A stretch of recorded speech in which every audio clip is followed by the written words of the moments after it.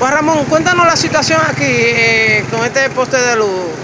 No, tumba. veníamos el paso y el camión me trancó de adelante le di.